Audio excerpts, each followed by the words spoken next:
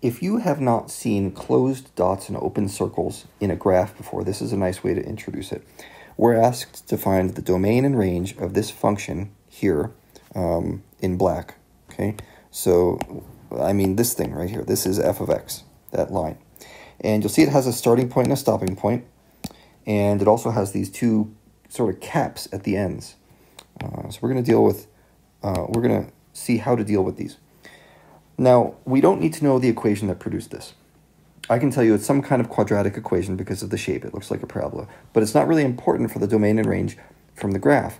When you're looking for a domain, you want to look at the lowest x value, say x min, and the highest x value over here, x max.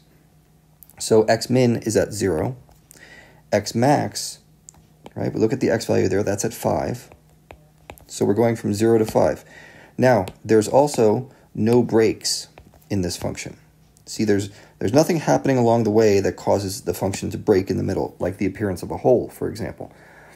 So we just go straight from 0 to 5, that's 0 comma 5, and now we have to write down what's happening at the ends. That solid dot there means the value of x equals 0 is actually allowed. It's just fine. But this open circle right there means you can't actually touch 5. x will never equal 5. It'll get really close, like 4.99999 or something. But it never actually reaches 5. So we're going to put a curvy parentheses there. Okay, that's how we deal with domain. And with the range, it's going to be very similar.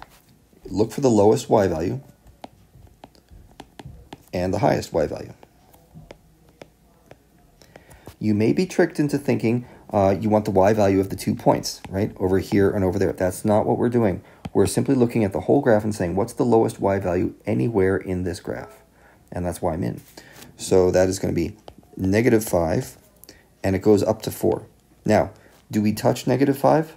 Yes, I think, uh, I think we actually do reach the point negative 5, so that's going to be a square bracket. Uh, but we do not reach the points positive 4. Okay, that's another open circle. So that's going to have to be an open parentheses. And that's the way you deal with these sorts of problems.